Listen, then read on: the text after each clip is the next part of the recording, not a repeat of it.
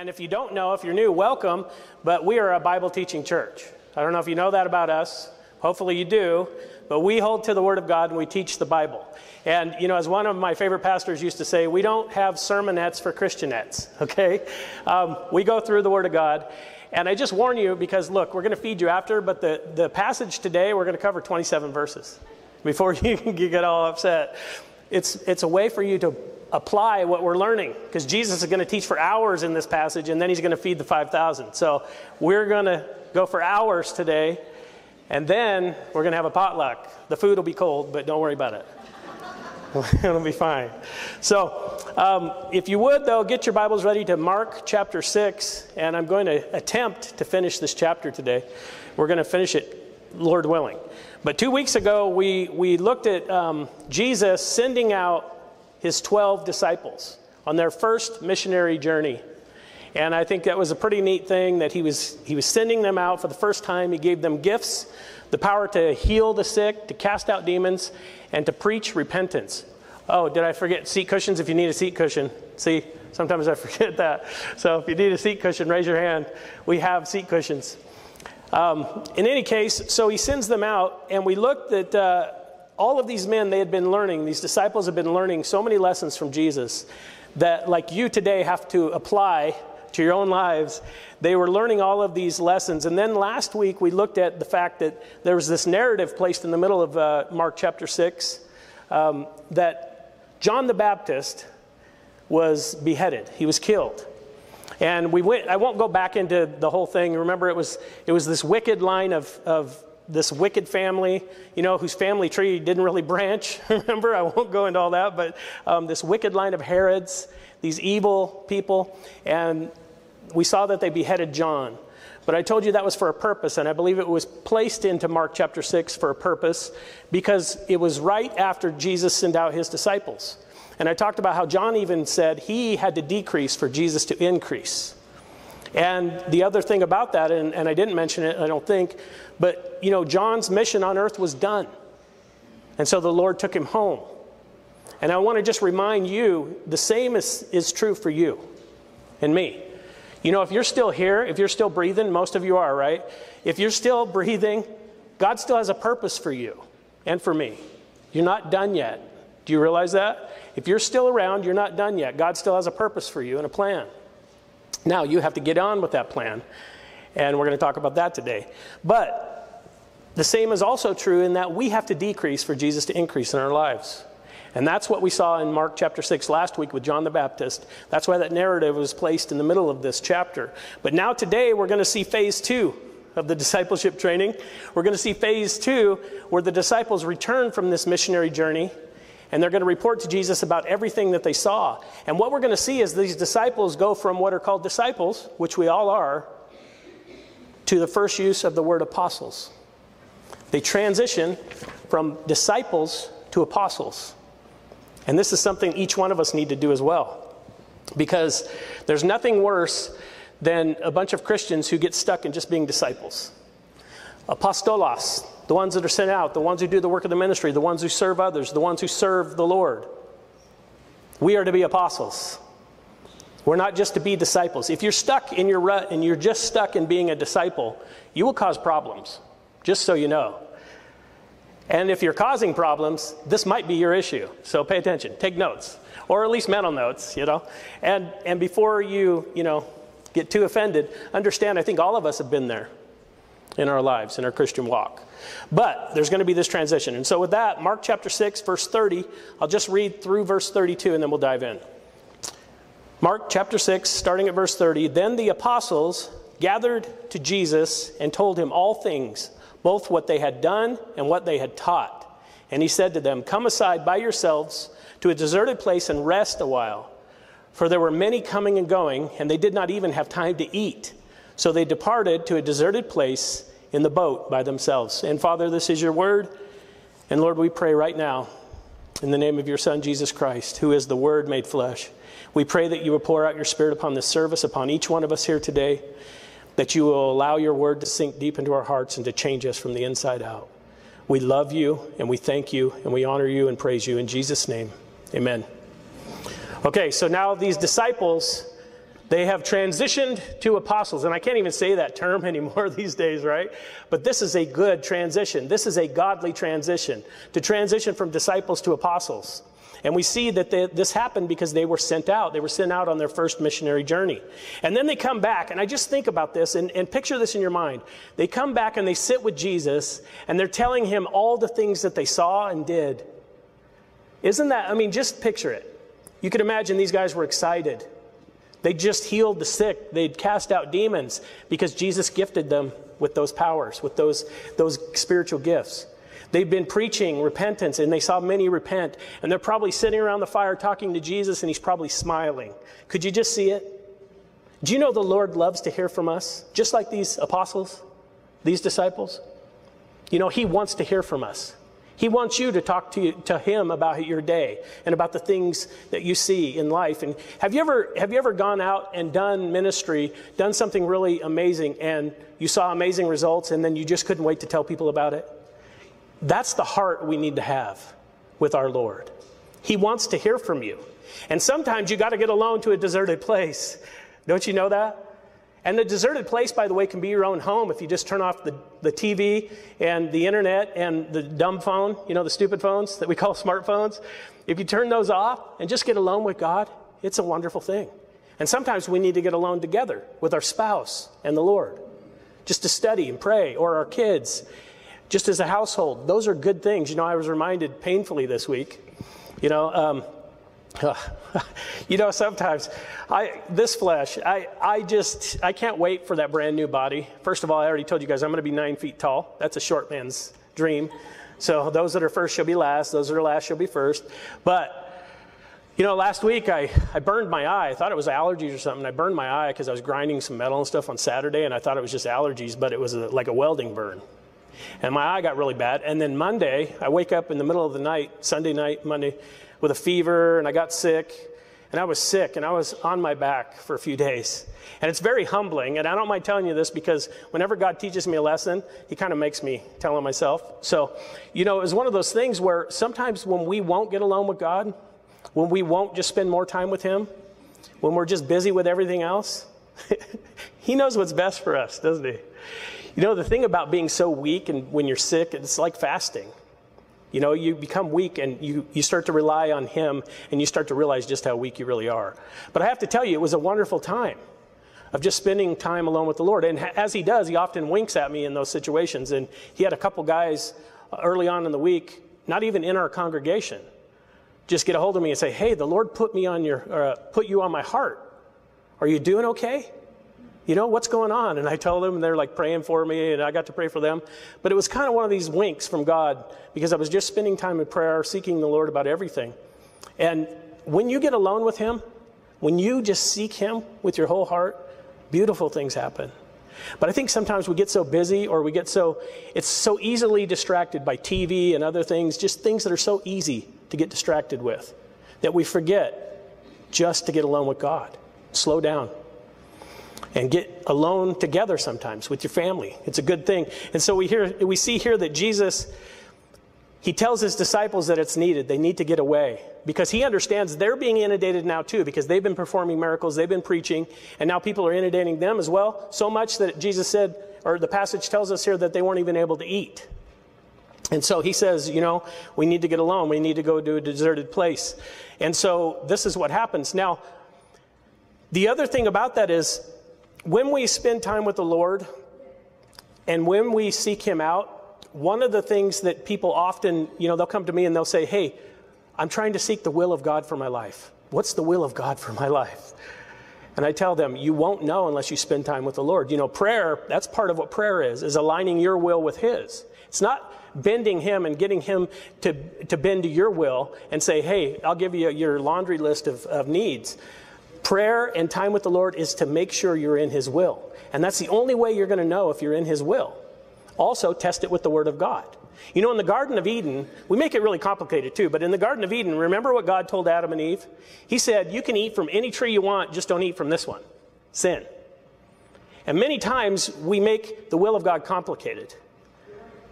There are many choices, many times. If it glorifies God, if it lines up with Scripture, you know, so don't be so consumed that it has to be this pinpoint. Now, when it is, God will show you. Okay? But only you're only going to know if you spend time with him and you get alone with him. But then look at this. Look at verse 30, 40, or I should say 33. The multitudes saw them departing, and many knew him and ran there on foot from all the cities. They arrived before them and came together to him. So this is what's going on. So Jesus and the disciples, his now apostles, they're going to get alone. They're going to go to this deserted place.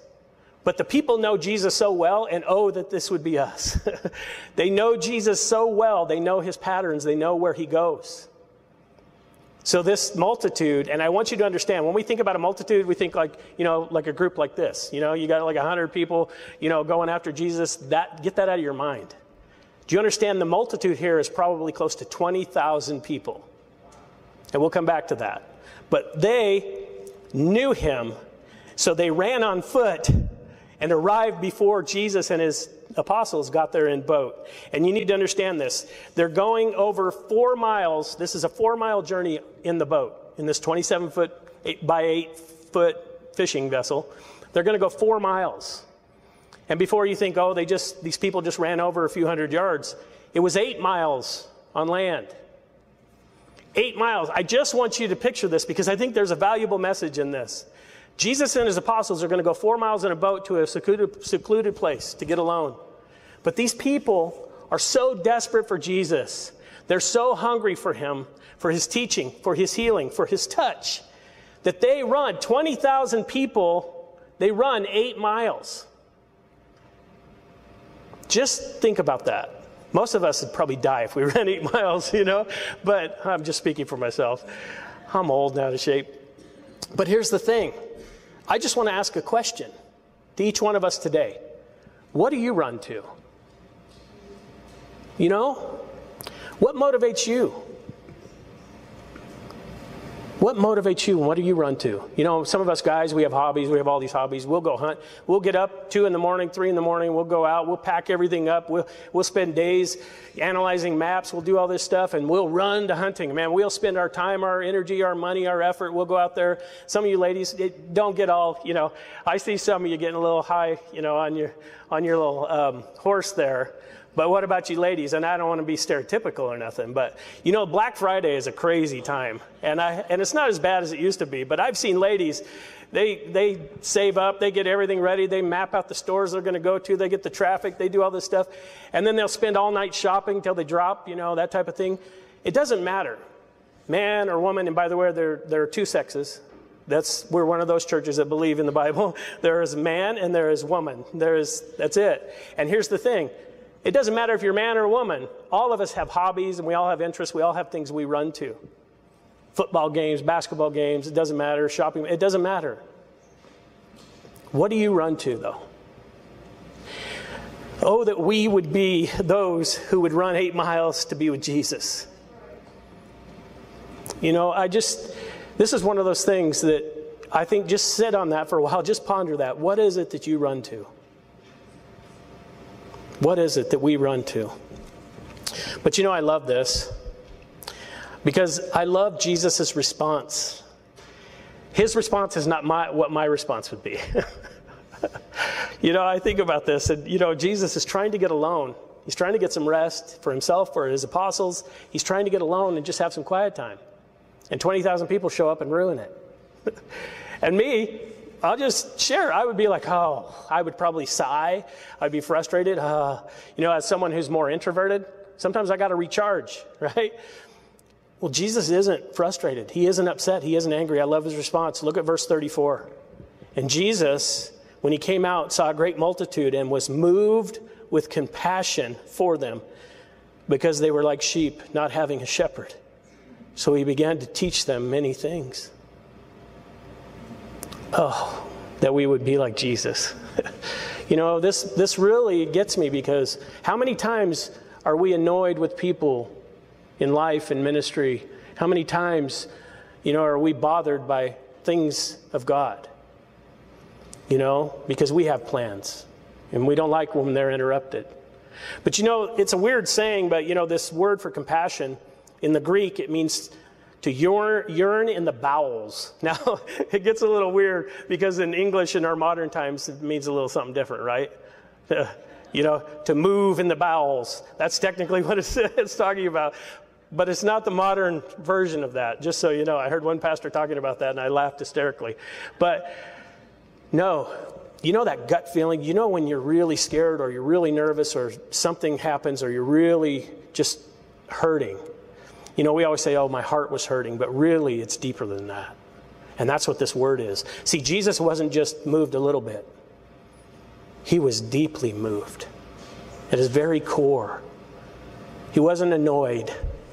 He was moved with compassion because these people were like sheep without a shepherd. And he's the good shepherd. And he knows what a good shepherd should do. And you know, in our world today, how many people do we see running around like sheep without a shepherd? You know, and they're searching for anything they can to fulfill their lives. And we look around and we see them, they're running everywhere, and you know, they're, they're jumping into all these worldly ideas and man's philosophies and worthless ideals. All these political arenas and all these godless political ramblings and secular reasoning and secular humanism, all of these things, people are just running and they, they're seeking after and they don't even realize they're sheep without a shepherd. They need a shepherd. And you know, we're to be that for them. Where, what does a shepherd do? He gives them food. The gospel is food. The word of God is food. We have to be those who will be willing to reach them, even if they don't want to hear the message, even if they don't want to be shepherded. We have to step out. We have to do what we're called to do. Remember this you know, the gospel is actually, and this might be groundbreaking for some of you, but the gospel itself is a message of words. Did you know that? People, have you ever heard this? You, you know, some of you already know this is one of my pet peeves. Have you ever heard it said? People say, preach the gospel and when necessary, use words. Guys, if you say that, stop. Because do you understand? The gospel is words. It's a message. It's the message of the cross, of what Jesus Christ did for you and me, that he took every sin upon himself that we have ever committed or ever will commit on the cross of Golgotha, of Calvary. It's a message of words. You can't give that message by being nice to people. Understand this charity and all that stuff, that is wonderful. Feeding people, clothing people, helping people, charitable deeds, that's wonderful. But if that's all you ever do, all you've done is make a person's journey to hell a little more comfortable. Huh, ouch. well, stop. Yeah, your life needs to line up. It must. But open your mouth. You have no problem opening your mouth in many other realms and reasons, right? Um, am I stepping on anybody's toes or is it just me again? You know, open your mouth and tell people about Jesus. Don't just be nice to them or kind to them. Tell them why you're kind. Tell them who you used to be. Give them your testimony. It doesn't have to be complicated. I told you before. Here's the greatest evangelism tool I've ever used. Ready? Uh, some of you already know, but take notes. This is it. This is the greatest evangelism tool I've ever used. Ready? Hi. Start a conversation. You know, if you're so nervous about sharing your faith, I call it jiggling doorknobs. Just say hi to somebody, be nice to them. Be a little more personable. You know, it's hard for an introvert to be a little more personable. People think, you know, you're angry because you're walking around with that look on you, but you're just thinking. And, you know, so you force yourself to be a little more personable, even if you love people. But that's what you have to do. Get yourself out of your comfort zone. Just say hi. And then share the gospel. It's words. And not only that, we're told to make disciples. Guess how you make disciples? Oh, you just live it out. No. You disciple them through the word of God. Do you understand? That's a big part of discipleship is the Word of God, to teach them the Word so that they can learn to apply it. Now, you must, again, walk it out and show them how to apply it, like I'm showing you today with two hour sermon. But here's the thing we must teach. That's part of discipleship, that's part of phase one. You know, and then you become phase two, an apostle. But I'll go back into that later. But here's the thing we know that the Word of God will not return void. Your words, don't give them your words, your platitudes, and all your little comments. Give them God's word. I mean, share the truth of God in your own life, but give them God's word because it won't return void. And the other thing about that is, I've seen this mistake in ministry many times. Remember, Jesus was a good shepherd. We're to be that in a sense. And shepherds lead sheep, they don't drive them like cattle. And I've seen many people in ministry make the mistake of trying to drive people like cattle. It's a lot of work, number one. And number two, you just offend and make people mad. You know those people who, you know, the tryhards that will just continually call people up, hey, you come to church, you come to church, you come to church, hey. It's like that little dog, remember the cartoon? Hey, Spike, you want to chase, a cat, Spike? You remember? I'm, some of you young people, I, I get it, you won't know. But, and then he would just smack the little dog, you know, and stuff. And you probably couldn't even make those kind of cartoons these days. But the thing is, is don't don't push people continue. You know, I don't believe in traditional follow up ministry because the Holy Spirit follows up. You know, when I was ready to change, you didn't have to beg me to come to church. When I was ready to live for the Lord, I was in the Word and I was ready. But until then, it causes a lot of time and effort to be wasted when that person is not ready.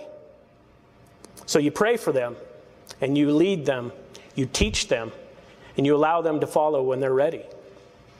Keep praying for them, though. Don't stop praying. But then we see Jesus, like I was telling you in the introduction, that was a, quite a while ago anyway, but Jesus is teaching for hours.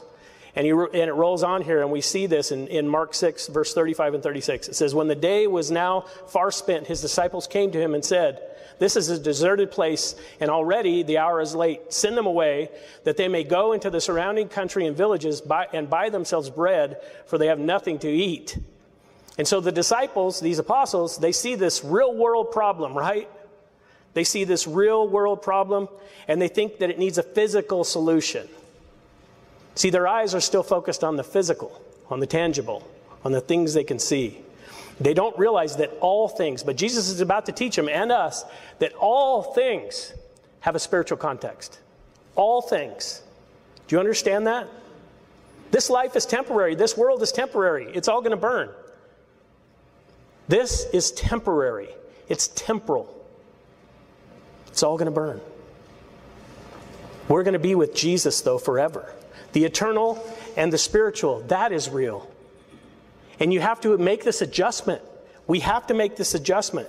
Jesus is about to show his disciples they need to make this adjustment. And the adjustment is simple. We need to look at the world through spiritual eyes, through spiritual glasses. We're not to look at spiritual things through physical eyes or the physical glasses of our flesh. All things are spiritual first and foremost, regardless of what people will teach you or tell you. And so Jesus tells these guys in verse 37, he gives them this test, but he's showing them look beyond your circumstances, look beyond the physical realm. Look at this, verse 37. But he answered and said to them, You give them something to eat. and they said to him, Shall we go and buy 200 denarii worth of bread and give them something to eat. So again, Jesus is taking them into phase two. He's taking them into the next phase of ministry. Could you imagine these guys, though? They just got back. They're probably pretty, you know, thinking pretty good about themselves. They just got back from this missionary journey. They got back and they're telling Jesus all about what they did, and they're probably thinking they got things figured out. But Jesus senses something. He senses something in them, and sometimes he senses it in us. Maybe even right now. But he senses something in them. And this is what I love because he's challenging them in ways that break them out of their comfort zone. And they're probably thinking, you know, what's he talking about? You know, how are we going to feed these people? You know, I, I know this. In my own Christian walk, um, going back, it was quite a while ago, I'll be honest, but I thought I had things figured out. I won't tell you all the embarrassing stories of, oh, I was such an idiot. But here's the thing I really thought I had figured things out. I thought I was so mature as a Christian. I knew the Bible, I'd been serving in ministry, but it was really about me. And I really, probably like these apostles, I just thought I had everything figured out and I was just going to go forward in ministry. And then God took me into phase two. Have you ever been there? He broke me but then he didn't leave me as an orphan. He broke me, showed me my own pride, and then he did something that shifted my paradigm, burst my bubble. Think of anything you want to come up with. And it was called the baptism of the Holy Spirit. Oh, wait, we're one of those churches. Yeah, we are. And if you're not, it's okay. Maybe we can get you there. But here's the thing God did that in my life, and it changed everything. When he baptized me with the Holy Spirit of God, the Ruach HaKodesh, the Holy Spirit, when he gave that gift to me, my entire life changed. I got a brand new pair of glasses, and nothing has ever been the same, and I'm not exaggerating. It has never been the same, and I've never looked at the world the same, and I've never looked at people, I've never looked at anything the same. When He baptized me with the Holy Spirit, when that happened, it was so radical in my life. It turned me upside down, and that's exactly what I needed. And I have to tell you, and I, am telling you this for a reason. You know, over the years, I've seen many people in ministry. It's usually easy, easy to spot them too, who will do physical things in hopes that they will have spiritual effects. I've seen it over and over in my own life where they'll see physical things, they'll do physical things, hoping that it'll have a spiritual effect. When we need to do the opposite, we need to do spiritual things knowing that they'll have a physical effect. Does that make sense? But during Thanksgiving week, I just want to prepare you guys because I want to teach on the baptism of the Holy Spirit. And I'm going to teach on the spiritual gifts. And here's the thing I want you to begin to pray now. If you're someone who's never received the baptism of the Holy Spirit, you're not a second class Christian, by the way. It's just an, another gift from God. And it's something to go into the apostleship. It's something when you're ready to go to phase two, God will give this to you if you seek it out. And I'm going to teach on that. But I want you to begin to pray now. And for those of you who have already received the baptism of the Holy Spirit, you know. And if you don't know if you've received it, you haven't. You just need to understand it's one of those things. But I've also seen people who won't admit they haven't received it. Because of their own pride and because of their own stature, you know, they, they won't admit it. They'll say, Oh, yeah, I've received the baptism of the Holy Spirit. And yet you don't see the fruit in their life. And you know it's not true. And your heart breaks for them. Like Jesus, you have so much compassion because you, you're thinking, Stop it. I know you haven't received it, even though you say you have. There's so much more if you would just submit your life to Jesus wholly and completely. And their pride won't let them. They're stuck in it, in that rut. But I would challenge each one of you don't get stuck in your pride. And don't get worried about weirdness with the Holy Spirit. Do you trust God or don't you? Do you trust His Holy Spirit? Then what do you have to worry? There are going to be abuses. I've seen them. You've seen them. You know, we've all seen the abuses. But you know what? That's okay. Those all get cleaned up. Don't get worried. Trust your King. Trust the Lord. Trust the Holy Spirit because the Holy Spirit will lead you. He will teach you. He will show you. He's your comforter. Paracletus, He comes alongside of us. He comes alongside of us to help us. He's inside of us, sorry, inside of us for salvation, but He can come upon us for His work, for His ministry. And so I just want you to begin to pray about it and test it with His Word. Go seek it out even before we teach on this. This is something, though, that Jesus, He's doing this with His disciples in our passage. He's challenging them, He's bursting their bubbles. And you know, again, they probably think they've arrived. But then with one statement, He reveals their immaturity. he tells them, You give them something to eat. We're talking about 20,000 people here. Imagine these 12 apostles standing there going, What do you mean? And I love it because verse 37 it says, Shall we go and buy 200 denarii worth of bread and give them something to eat? I love this because in this statement it's sarcasm. And I am, as a short man, very fluent in sarcasm. I'm trying to get over it, but, um, but that's what's going on here. They're like, Oh, really? Because understand, 200 denarii, a denarii was an entire day's wages. 200 denarii is like two thirds of a year's wages. So, whatever that is, think about that. Think of the thousands of dollars that would be equivalent today. And they're like, oh, really? So you want us, you know, to go away to a village and take thousands of dollars we don't have and go buy food? That's basically what they're saying. Because why? They're just looking at the natural. They're not even thinking, after all this time with Jesus, they're still thinking natural first and not spiritual. Do you understand? Do you understand that's what's going on? But Jesus, I love this, because even though they're saying that, and he knows what they're, how they're being and how they're acting, he himself, he doesn't react and he doesn't even respond to their question. I love this about Jesus. Verse 38 But he said to them, How many loaves do you have? Go and see. And when they found out, they said, Five and two fish. Now understand, these aren't big giant loaves like the ones Lisa makes. You know, we have that special occasion. These aren't giant loaves. These are little pita bread loaves, the little tiny ones. You know. So they have five of those and two fish. Ah, twenty thousand people. Jesus, could you imagine what they were thinking? Oh man! But I love this, and you don't miss this. Okay. Don't miss this because this is one of those things that will change your life in, in your Christian walk. Okay, don't miss this. he just commands them to do something. He says, Give me all you have. Whatever it is, just give me what you have. No matter the amount, just give me whatever you have. That's all he wants from you. Do you know that? That's it. Whatever you have. Don't worry about your talents and abilities. Don't worry about all those things. Don't worry about every, you know, I'm not good enough to serve it. Stop. He doesn't care about your ability. He cares about your availability. He will take whatever you're willing to give him and multiply it beyond measure. You know, I can testify to that in my own life. You know, without going into my own testimony, I know. I've seen it. I've seen what God can do with a boy from the wrong side of the tracks. Trailer park trash. I've seen it. When you just say, you know what? Use me, Lord. Just give him whatever you have. It doesn't have to be much. 20,000 people, and all they have is five little pita breads and two fish. Well, in the natural, that seems impossible, doesn't it? It is in the natural.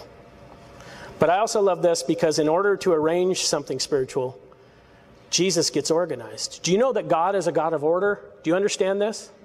Even when we talk about the gifts of the Spirit, and when, when the work of the gifts of the Spirit work through us, they're to be done. 1 Corinthians 14 tells us, verse 40, I believe it is, check me on that, decently and in order which means frying, you know, on the ground like bacon and sizzling and rolling around like we see on some of the so-called Christian TV, people convulsing and falling over and can't control themselves and all this other stuff. Come on, give me a break. Again, remember I told you there will be abuses. But a true work of the Holy Spirit, he's a gentleman and he does all things decently and in order. Now that doesn't mean this. It doesn't mean you won't be uncomfortable. Your flesh will be uncomfortable at times. When God broke me, I remember when I began to pray in tongues. I was so uncomfortable, and I didn't care. it was the greatest uncomfort I'd ever experienced. And it was a beautiful thing because he broke my expectations. But he did it in his way, perfect, decently, and in order. And I love this because look at Mark 6 39 through 41 when he commanded them to make them all sit down in groups on the green grass. So they sat down in ranks in hundreds and fifties. And when he had taken the five loaves and the two fish, he looked up to heaven, blessed and broke the loaves, and gave them to his disciples to set before them. And the two fish he divided among them all. Now it says they were sitting on the green grass. We know from another gospel this is right around Passover time. So it's spring in Israel. And by the way, we're, we're trying to work out our trip. I think we've got a date. We're not going to go to Israel until 2024, but it'll be March of 2024, right, Hugh? March of 2024. So you'll get to see the green grass. It's one of the most beautiful times to visit Israel just before Passover in any case, it gives us time also to prepare and get, get things ready. And we're going to be partnering with some other churches on that too. So, but he gets them all together and he gets them organized. And I like what one pastor says a, a, symmetrical seating arrangement, possibly 50 semicircles of 100 people each, with semicircles one behind the other in ranks. Such an arrangement was familiar to the Jews during the festivals, and it made food distribution more convenient. And so these disciples are getting these 20,000 people ready for food. and they know all they have is five little pita loaves and two fish. Could you imagine how uncomfortable they were in their flesh? this isn't going to go well, Jesus. You know, imagine how embarrassed they might have been. Just put yourself in that position. But they get everyone ready because they do what they're told. This is another lesson. Even though they're probably skeptical and they were a little sarcastic and cynical, they do what they're told. When Jesus tells you to do something, you ought to, when Jesus tells you to do something, you ought to, hmm, I like it. This is good. So I'll incorporate this into every service just to keep you guys awake. But here's the thing that is such a great lesson. Sometimes He'll ask us to do things that are uncomfortable. Just do it. It was long before Nike, I promise. Just do it. Just do what Jesus asks. Because there is always, 100% of the time, there is always a payoff. And we see that payoff here in verse 42 with seven powerful words, if you have the New King James. It says, So they all ate and were filled. You know that word for filled? Thanksgiving's coming up, so you can relate. It's the same word that's related to gluttony or glutton, where you're so stuffed. I know nobody in here will do that today. When you're so stuffed, you're sick. You know, it's like it's just, you're full. That's what the word here means. Jesus took those five little loaves and two fish and just fed 20,000 people. And look at how he did it. He had the disciples distribute the food, the apostles. Notice they're not eating yet, but he had them walk it out in faith. He's going to show them. He's working on them because they still don't get it. He says, Okay, here, do this. Watch what happens. And I love this because look at verse 43. And they, speaking of the 12 disciples, the 12 apostles, they took up 12 baskets full of fragments and of the fish. How many apostles are there? There's 12. You didn't know you were going to have a math test today, too. How many baskets full? 12. What's Jesus showing them? When you serve the Lord, when you give Him all you have, when you step out in faith and you just simply do what Jesus asks you to do, your basket's going to be full. Do you understand? They hadn't eaten all day, remember? The disciples? They wanted to send them away. They were probably hungry, you know? They hadn't eaten. We see in that context, they weren't eating, they were distributing the food. But now Jesus says, I have food for you too. 12 baskets left over. Each disciple had a basket of food. And this is what I love. You know, the most miserable Christians I've ever been around are those who do things for self. And it's always about self. And I have to tell you, I speak from my own experience. Because when you do things for self, and you don't even realize it sometimes, when you're doing things for self, you always lack something. But when you're truly in His will and you're doing things for your King and you're serving those around you, your basket is always full. I can't explain it. If you know, you know, but it's true. And I just love this. And then you might say, well, what about Jesus? He hasn't eaten. Where's his basket? And this is what I love. Remember in John chapter 4, when Jesus was talking to the woman at the well? He preaches to her, and then his disciples are worried about him, and they come to him and say, Hey, you're hungry, you need to eat something. And this is what Jesus said in John 4, verse 32 through 34. But he said to them, I have food to eat of which you do not know. Therefore, the disciples said to one another, Has anyone brought him anything to eat? Again, these guys are just like us. Jesus said to them, My food is to do the will of him who sent me and to finish his work.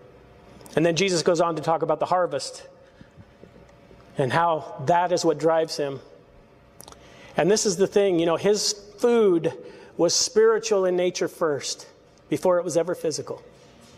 Because everything Jesus did was spiritual in nature first, over the physical, over the carnal. And when you think about what he had just done here in Mark chapter 6, that was quite a meal for Jesus, wasn't it? He shepherded these people who he had compassion, deep compassion for. He loved them so much. He taught his disciples, his apostles, this valuable lesson. He fed them all after teaching them, after feeding them with the word. That's quite a meal for Jesus. And again, we know it was around 20,000 people, and here's why because it was around 5,000 men. It's not a sexist comment, I'll explain. Verse 44 Now those who had eaten the loaves were about 5,000 men. And that's literally men. Now, this, this is a reference to the head of the household. When families were considered the normal thing, the biblical model is one man, one woman, create a family. And the man was to be the head of the household because he represented what Christ is for the church. It's God's plan. That's God's plan. And so when they're numbering them here, they're numbering the men. This doesn't include the wives and all the children. And so scholars, most scholars agree this was up to 20,000 people, roughly. You know, what's happening in our society now, though? They're tearing down everything that's godly, the godly foundations. They're tearing down everything that was declared in the book of Genesis. But it just tells us we're living in the days of Noah.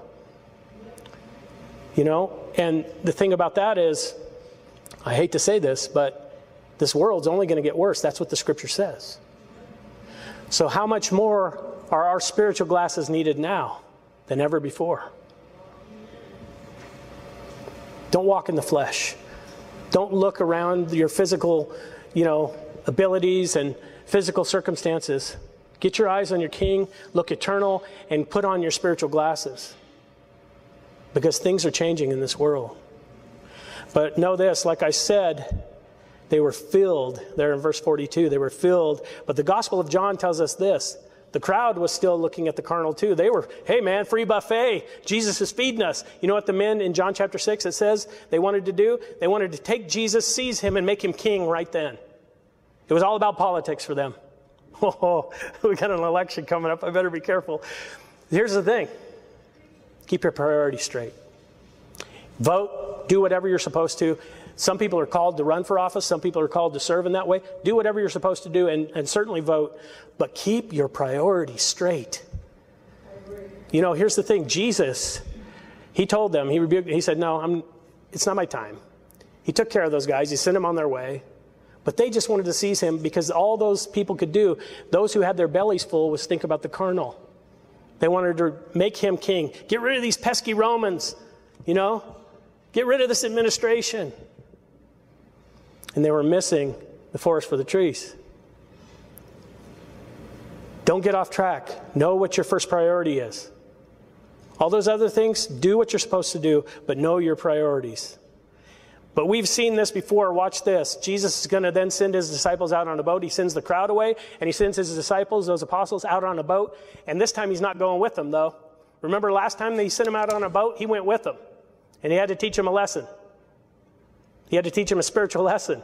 And they learned that he was commander of all nature, that he could command the water and the waves and the wind, that in one uh, fell swoop, in one statement, he could make all of nature obey him. And you would think they had learned their lesson. They were now going to walk in the spiritual.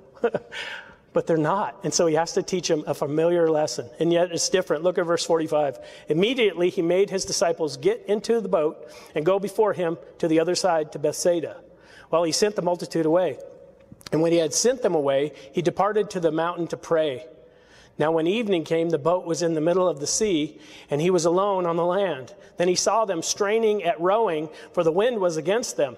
Now, uh, about the fourth watch of the night, he came to them walking on the sea and would have passed them by. Understand, the wind came up and pushed them, it says, to the middle of the sea. So they're out there and they're just doing everything they can and they're alone, right? But together. But Jesus isn't in the boat this time. And so they can't go wake him up and yell at him. Remember how they did that? You're gonna you you're gonna let us drown out here, Jesus? You know? Now, what are they going to do? Oh, they're going to take it into their own hands. They're going to work in their own flesh and they start rowing with all their might. That's what they're going to do here. And that's what any practical person does, right? Just got to get the job done. But all they had to do, we notice here, Jesus saw them. Means he never kept his, he never took his eye off of them. All they would have had to do is what they'd done in the past, and that's cry out to him. He was just a call away. But no, they're going to row to their heart's content, and they're going to get exhausted doing this. And that's such a picture of us. But this is what I love. And also, this is so funny about Jesus. Did you notice this? It says he's walking on the water. He's walking on the water, the Sea of Galilee, and it says he's going to walk as though to walk by. it's like he's just walking, whistling. Hey, guys. I just love that. See, I get tickled by this stuff, but um, that's hilarious to me. But then we read in the, in the language what really is going on is that he's walking by because he wants to give them the choice. You know, Jesus does that for you and me in our situation. You know, he'll, he'll let you learn as much as you want to learn. As I often say, he'll make it as easy on you as you let him. You know, but he'll walk on by. He's a gentleman. But you have to ask him into your situation. You have to ask him into your life. That's who he is. But the desire there in the language is that that's what he wanted. He wanted his apostles to just call out to him. But this is what I love too. He kept them in his sight the whole time. And don't you know that's the same thing for you and me? Sometimes when we feel abandoned, by God, He's got His eye on you. Just call out to Him. And you know, many times in our own efforts, you know, the fourth watch is the last watch of the night. Do you understand? That's between 3 a.m. and 6 a.m. He waited till the fourth watch. Have you ever felt that way, you know, in your own life? Where you just finally get exhausted, it's the fourth watch, and then Jesus shows up because you finally call out to him? This is what we do. But look at this in verse 49 and 50. And when they saw him walking on the sea, they supposed it was a ghost and cried out, for they all saw him and were troubled. But immediately he talked with them and said to them, Be of good cheer, it is I. Do not be afraid. A couple things. You know, I was reading a commentary and then I heard a pastor talking about this. In the first century and earlier than that, and even after that, they had a legend that if you were out to sea and you were getting ready to die, that an apparition, a ghost, would come to greet you. And so understand what's going on here. These guys, they think they're about to die again out on the water and they see a ghost, quote unquote, coming at them. So they panic. But we also read in, in the Gospel of John that they cried out to him, that they welcomed him into the boat. They willingly received Jesus into the boat. And I love that. But I also love this. Jesus says, Be of good cheer. It is I. Do not be afraid. He would say that to every one of us. Don't be afraid. But also notice this where it says, It is I, ego eimi. That's the I am statement. You know, this is one of the most beautiful and amazing things for every one of us as believers, as followers of Jesus Christ, of, of Yeshua. He is the I am. He is the creator of the universe. He controls all nature, He controls all things. He has eternity already written. You can trust Him. Call out to Him and trust Him. Be of good cheer. But I love that. And we know there's more to the story here. I won't go into all that, but um, I think it's, it's great because in Mark we don't see how Peter, remember in another gospel we read, Matthew, Peter gets out of the boat and actually walks on water. You know, the only other man besides Jesus to walk on water that wasn't frozen. He walked on the waves, he walked on the water just like Jesus. But remember, in the introduction to Mark, I told you who the, the, uh, the person who actually um, inspired this gospel. Of course, it was the Holy Spirit, but it was Peter. This is Peter's account of the gospel. And I think this is beautiful because when we're talking about the spiritual and the natural working together, that's the Holy Bible. Do you understand? God chose to use over 40 different men to pen the Bible on three different continents over a span of 1,500 plus years. And yet it never contradicts, despite what people try to say. It's the most tested book in history. Go test it. The thing is, is it's a beautiful uh, combination of the natural. He used the men who wrote these gospels, who wrote these books. He used them and their flaws and their weaknesses, and he with this beautiful spiritual perfection. And I think here, Peter, who's given this account to Mark, leaves out the fact that he walked on water because it's showing us even more that Peter's been humbled. It's no mention in this gospel, which Peter is the source. But know this.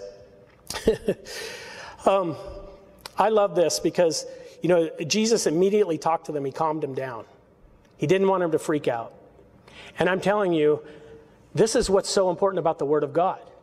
You know, sometimes we're in a situation and we're freaking out. Uh, again, have you ever been there? And we're freaking out. Maybe you're freaking out. This sermon's going long, buddy. We got food to eat. I get it. Just hold on. But here's the thing you're freaking out and you're praying and you're not getting an answer. Open the Bible. When you understand what the Word of God really is, when you understand what the Bible really is, God's Word is right before you at all times. Why do we neglect it? I mean, how many of you, I want to see hands, how many of you didn't even read your Bible this week? It's God's Word, it will change you from the inside out. But I love the fact that Jesus is going to do another incredible miracle here in verse 51. Then he went up into the boat, and the wind ceased. And they were greatly amazed in themselves beyond measure and marveled. What I love, though, is that sometimes we miss this in John chapter 6, verse 21. It tells us that an even greater miracle happened than just the wind. Now, the wind calming is a huge miracle. Jesus proves he's Lord over all creation. But John 6, 21 says this Then they willingly received him into the boat, and immediately the boat was at the land where they were going. Do you understand they'd been pushed four miles out to sea? Understand what just happened. Jesus got in the boat and it immediately was at the shoreline. Do you, do you see that? This is an amazing miracle. It reminds me of Philip. Remember when Philip was preaching to the Ethiopian eunuch? Do you, do you guys remember that story? Or do I have to go into that too? I'll don't make me stay here two hours.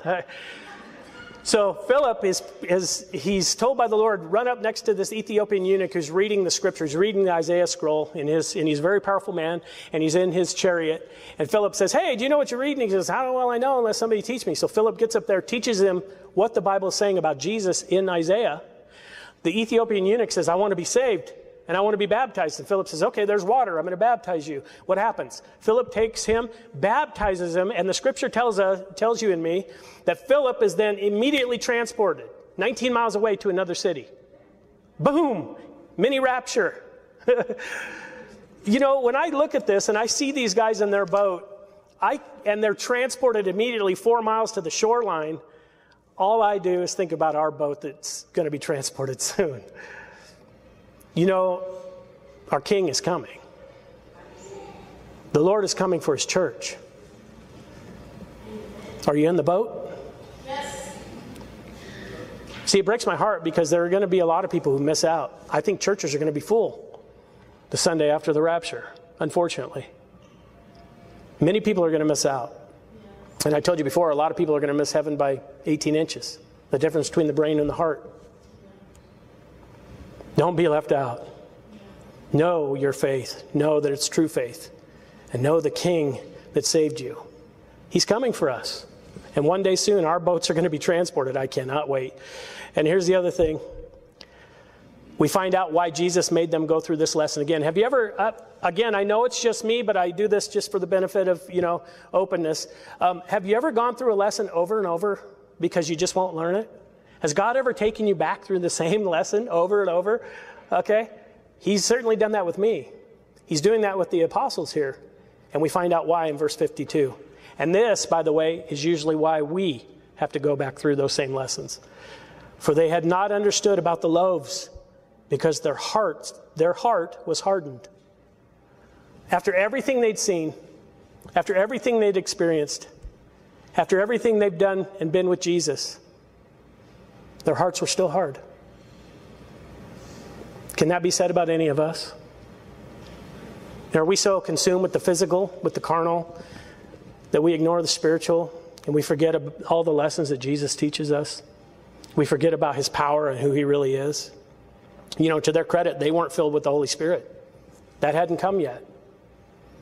But that's even more challenging for us because we are. And we can be guilty of this same exact thing.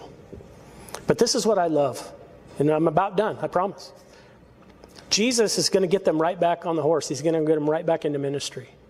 He teaches them a tough lesson, tough love, but then he's going to get them right back serving. And this is a lesson, and don't miss this because I promise I'm almost done. Don't miss this. You know, too many times in ministry, what I see is I see people who cause problems wherever they go. I see people, no matter what situation they're in, it's the same problems. They have the same problem with this person or that person, just a different person wherever they're at. You know, it's kind of like that old saying, I'm not crazy, it's all of you. you know? I've seen people in the church and ministry, no matter where they go, they have the same problem. It's always the same problem, just ask them. Because they refuse to learn the lessons that God has for them. And I've seen people who say they want to serve the Lord until they're treated like a servant. And then their real reaction comes out. Again, if you want to know if you're a true servant of the Lord, tell me how you react when someone, someone treats you like that, treats you like a servant. You know, a lot of times what happens is we, like the disciples, we get stuck in phase one. And we can't transition to phase two to be a true apostle, to serve our King to do the things we're called to do because we're caught up in our own pride. I've seen men pout like little children. You know, the Bible tells us, be like men, be ye like men, gird yourself up like men. And yet in the church, in ministry, what I've seen is men pout. Oh, well, they didn't talk to me, or they didn't say this, or they said this that offended me. And I've seen them pout and whine and cry. When you're supposed to be a man of God, why are you acting like a child? I'm not letting you ladies off the hook either, although we're about to eat food, so I'll probably get some dumped on me. But You know, it's the same thing with you. What happens with ladies is you get bitterness. You get angry at somebody, and then you, oh man, whew, we saw it last week. You know, remember Herodias, she held on to that grudge. She wasn't going to let it go. Ladies, you're called to forgive. You're not called to hold to a grudge or to become bitter. Men and women of God, don't act like children. What are you doing acting like kids? If we want to be effective in ministry, we got to grow up. You don't pout and whine and cry like a little baby. You don't get your little feelings hurt. Just serve your king. And now here's the other thing about that. If your feelings do get hurt, just go to the person and talk to them. Nine times out of ten, the person that's offended you doesn't have a clue they offended you. Grow up. Learn the lessons God has for you. Stop being just a disciple. Here's the problem if a church is just full of disciples that never transition to apostles, it'll be the most miserable place on the planet. It'll be the most miserable place to be. A bunch of disciples who are consumed with self, who don't even think about others. Be apostles. That's the call of this teaching today. Go to phase two. Ask for everything you need. God will give you everything you need, and He doesn't care what you have to offer. Give Him whatever you have. And I love this because He just takes His disciples, His apostles, right back onto the mission field. Verse 53 when they crossed over, they came to the land of Gennesaret and anchored there. And when they came out of the boat, immediately the people recognized him, ran through the whole surrounding region, and began to carry about on beds those who were sick to wherever they heard he was. Wherever he entered into villages, cities, or the country, they laid the sick in the marketplaces and begged him that they might just touch the hem of his garment. And as many as touched him were made well. And so these disciples, these apostles, who, who just learned this hard lesson, they just get back to work, and we see that many were made well. That is a lesson for all of us. Just serve. Just serve. And I want to ask this question as we close. We're going to get ready for communion and then the potluck. But I just want to ask you this question What glasses do you wear? What glasses are you wearing? Is everything carnal, physical, literal to you? Or are you looking at things through spiritual lenses? Are you looking at things through the eyes that Jesus wants you to have? Is your Christian ministry, is your Christian walk private, personal? There's an aspect of that, but it's to be public. You're to serve others. That's what we're called to do. You are a disciple. Have you graduated to apostleship? Have you graduated to phase two? Those are just some things to consider as we get ready for communion. Let's pray. Father God, thank you for your word and thank you for the lessons it has. God, fill us Fill us, Lord, because we lack. Fill us because we're leaky vessels. Fill us because we need you. We need your eyes, we need your lenses.